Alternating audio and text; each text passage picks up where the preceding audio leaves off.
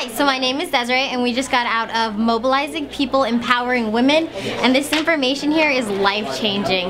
It's really simple and all you have to do is actually put in the hard work and that's nothing. So I don't know why all of us aren't doing this right now.